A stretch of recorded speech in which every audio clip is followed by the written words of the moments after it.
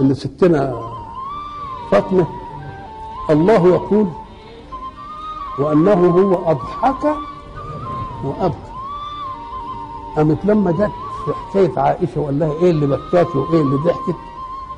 قالت لا لانني لما دخلت على أبي وهو مريض قال لي إن هذا هو مرض الموت يا فاطمة. فبكيت.